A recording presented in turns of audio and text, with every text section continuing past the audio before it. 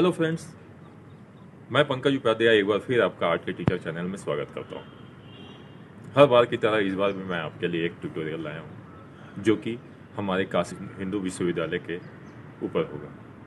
इसी सीरीज़ को आगे बढ़ाते हुए मैं और भी कुछ लाने वाला हूँ। तो आपसे उम्मीद रखता हूँ कि आप ये वीडियो ज़रूर देखेंगे और अंत तक देखेंगे। कोरोना कोरोना कोरोना, हर जगह कोरोना की मार है। और इसी कोरोना को ध्यान में रखते हुए हमारे काशी हिंदू विश्वविद्यालय के कुछ चिकित्सक, जो कि हर समय तैयार बैठे हैं कंसल्टेंसी के लिए।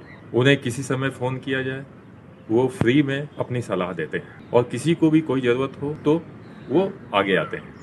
उनका कदम हमेशा हमारे लिए आगे रहता है। तो मैं उनका सर धन्यवाद देता हूँ, और उनको भी धन्यवाद देता हूँ, जिन्होंने इतने सारे चिकित्सक को और हमें एक साथ मिलाया। जी हाँ मैं बात कर रहा हूँ बाबा शेषनाथ जी की। बाबा श्री शेषनाथ जी, जो कि हमारे एक ग्रुप के एडमिन हैं और उन्होंने हम सबको मिलाने की कोशिश की है। जितने भी हमारे काशी हिंदू विश्वविद्यालय, बनारस हिंदू यूनिवर्सिटी के पूर्व, भूतपूर्व छात्र हैं, चाहे वो किसी भी ईयर के हों, सब एक मंच पर आ गए हैं। और सबने एक साथ ये आवाज़ उठाई है कि कोरोना से लड़ना है कोरोना से फाइट करना है। और बाबा शेषनाथ जी, मैं आपका भी धन्यवाद देता हूँ कि आपने हमारे लिए बहुत कुछ किया है। अब हमारी बारी है। तो मैं उन चिकित्सकों को फिर से एक बार धन्यवाद देता हूँ जिन्होंने इस लड़ाई में हमारा साथ दिया है और देते आ रहे हैं। पिछले बार की तरह इस बार मैं फिर वीएचयू यानी बनारस हिंदू यूनिवर्सिटी से रिलेटेड एक स्केच बनाकर लाया हूँ, जो कि पेन और वाटर कलर से होगा। लास्ट स्केच में आपने काफ़ी अच्छा रिस्पॉन्स दिया है।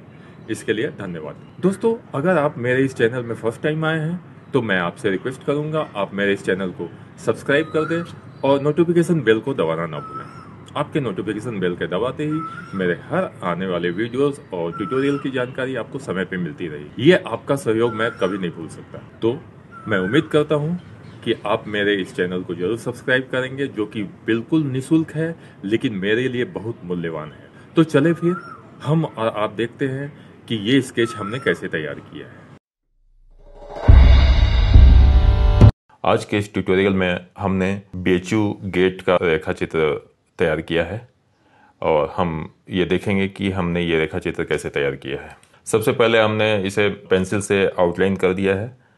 इसके बाद हम इसे पेन से स्केच करेंगे। पेन से स्केच करने के लिए हम बरस्ट्रो कंपनी की बरस्ट्रो टेक्निकल पेन यूज़ करते हैं, जो कि वाटरप्रूफ होता है। ये पाँच पेन है, जो अलग अलग तरह के आते हैं 0.1 से लेकर 0.5 तक। तो हम इसे 0.3 से करने वाले हैं, ताकि उसका जो थिकनेस है ज़्यादा मोटा भी ना हो और ज़्यादा पतला भी ना हो।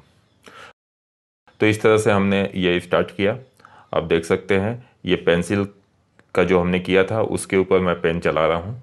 और कहीं कहीं अगर आपको लगता है कि नहीं, आपने पेंसिल से कुछ इधर उधर कर दिया है, रफ, क्योंकि वो रफ स्केच होता है, ऐसे फाइनल हम पेन से करने वाले हैं तो हमें उसके अनुसार करनी होती है। जो हमें लाइव दिखता है, उसके अनुसार हम पेन से ड्रॉ करते हैं। ये रेखा चित्र हमने बीएचयू का इसलिए लिया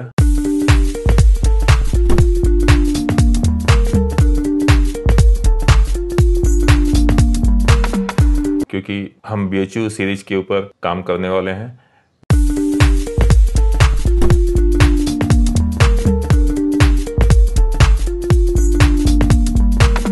इसके पहले हमने महामना पंडित मदन मोहन मालवीय जी का रेखा चित्र लिया था। अभी मैं बीएचयू गेट का ले रहा हूँ।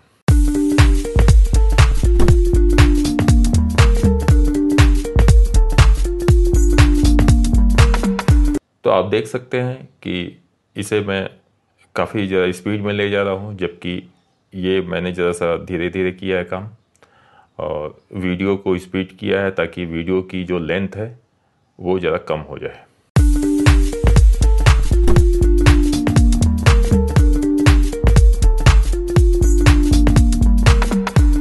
आपको स्केच करना है पूरे ज़रा टाइम देकर, ताकि कुछ प्रपोशन में इधर उधर ना हो जाए।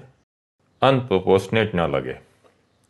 तो पूरे ध्यान से करना है और ये पेंसिल से अगर पहले कर लेते हैं तो आपका ये जो मिस्टेक है या फिर जो एरर होने का रहेगा, वो नहीं होगा।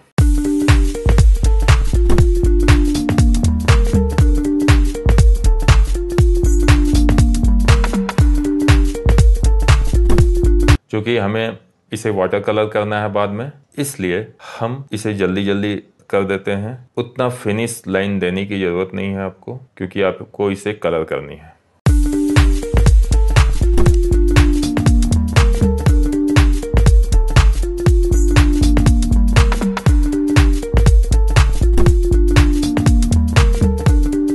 दोस्तों, उम्मीद है कि आप मेरे इसके पहले वाले जो ट्यूटोरियल है, वो आप ज़रूर देखे होंगे और आपने अब तक मेरे इस चैनल को सब्सक्राइब भी कर दिया होगा। सब्सक्राइब के साथ साथ आप नोटिफिकेशन बेल को दबाना नहीं भूलेंगे, क्योंकि नोटिफिकेशन बेल के प्रेस करते ही आपको मेरे हर आने वाले ट्यूटोरियल्स और वीडियो की जानकारी समय पर मिलती रहेंगी। ये सब्सक्रिप्शन बिल्कुल निशुल्क है फ्री है तो इसमें ज़्यादा सोचने की ज़रूरत नहीं है। आप बेहिचक सब्सक्राइब कर सकते हैं।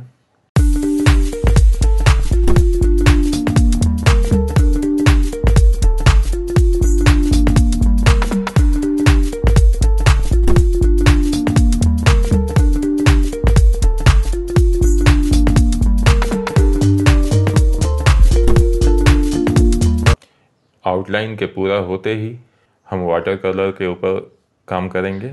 आप चाहे तो कोई और भी कलर यूज़ कर सकते हैं, लेकिन वाटर कलर का जो टेक्सचर होता है, वो कुछ अलग आता है और ट्रांसपेरेंट कलर होता है।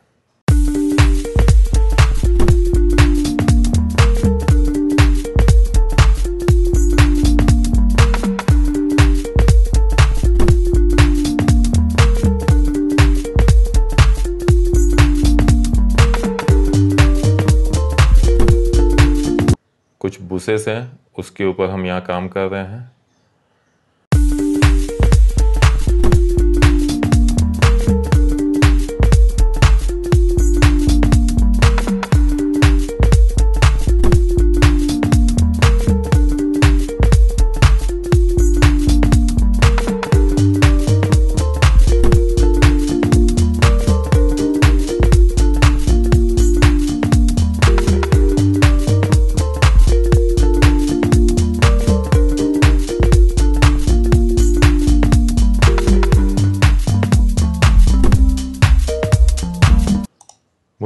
गर्व होता है कि मैंने एक ऐसे यूनिवर्सिटी से अपनी शिक्षा ग्रहण की जो कि देश विदेश में काफ़ी मायने रखता है। शायद आपको मालूम हो या नहीं हो, लेकिन ये एशिया का लार्जेस्ट यूनिवर्सिटी है और वर्ल्ड में लार्जेस्ट यूनिवर्सिटी में इसका नाम आता है।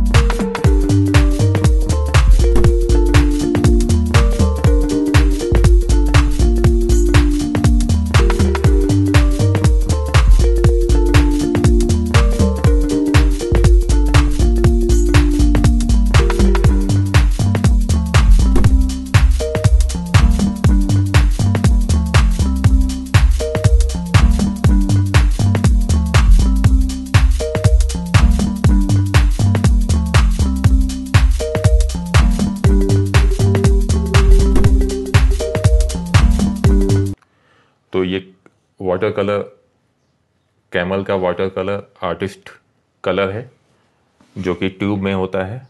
अब मैं वाटर कलर करने जा रहा हूँ। सबसे पहले मैं ब्रश में पानी लेकर ऊपर की तरफ़ लगाता हूँ पेपर पे। वाटर कलर का टेक्निक होता है कि आप पहले पानी स्प्रेड कर दें, उसके ऊपर वाटर कलर को स्प्रेड करते हैं तो स्काई के ऊपर हमने काम किया अभी। उसके बाद जहाँ जहाँ डार्क और लाइट चाहिए, वो हमने पूरा किया।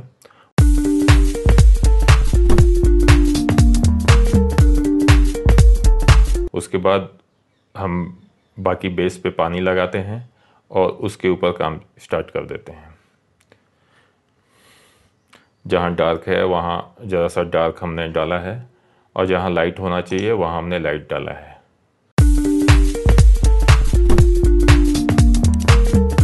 अभी बुसेस के ऊपर हम ग्रीन कलर के ऊपर काम करते हैं।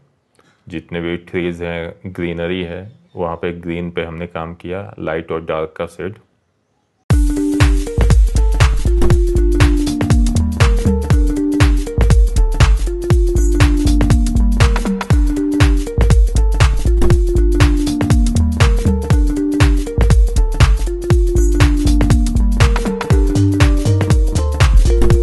वाटर कलर की एक खासियत ये होती है कि ज़रा सा सूखने के बाद आप डार्क कलर डालते हो, उसे सूखने के बाद आपको रिज़ल्ट जो मिलता है वो अलग मिलता है। ये पूरी तरह से ट्रांसपेरेंट कलर होता है।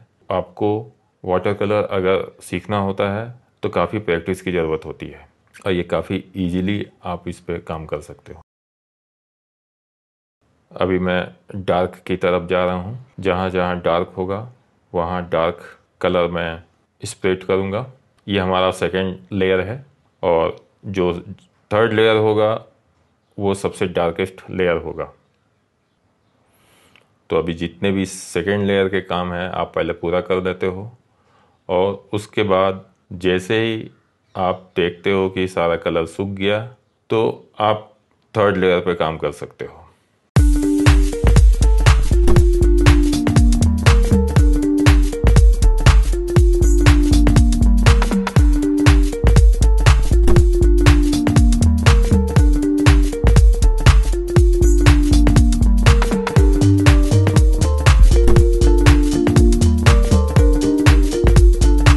यहाँ से हम स्टार्ट करते हैं थर्ड लेयर पे काम करना। और इस तरह से आप देख सकते हो कि जहाँ भी, जहाँ शेडो है, वहाँ पे हम थर्ड लेयर पे काम करते हैं, या फिर जरा डार्केस्ट जो लेयर है। और ये पूरी स्ट्रक्चर दो कलर की होती है, एक ऑरेंज और लाइट ऑरेंज की। आप अगर पूरे यूनिवर्सिटी में अगर घूमेंगे तो आपको इसी, यही दो कलर के सारे बिल्डिंग्स दिखेंगे।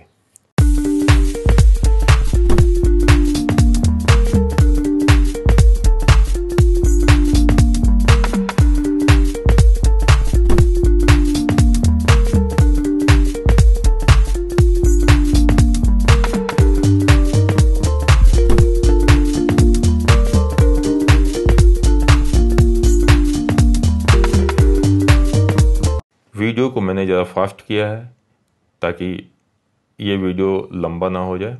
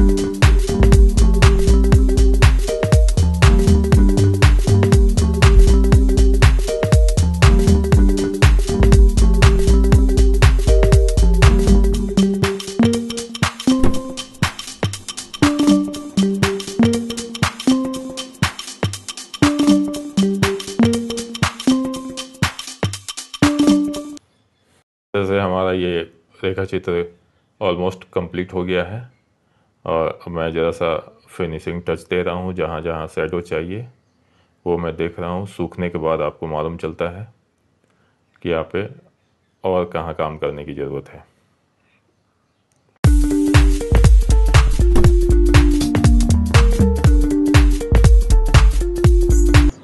दोस्तों, उम्मीद है कि आपको ये ट्यूटोरियल अच्छा लगा होगा और आपने अभी तक सब्सक्राइब भी कर दिया होगा। आपके सब्सक्राइब करने से हमें एक सहयोग मिलता है और हमारा मोरल भी बूस्ट होता है। इसके लिए मैं आपसे फिर से एक बार रिक्वेस्ट करता हूँ कि अगर आपने नहीं किया है तो आप कर दें और नोटिफिकेशन बेल को दबाना ना भूलें।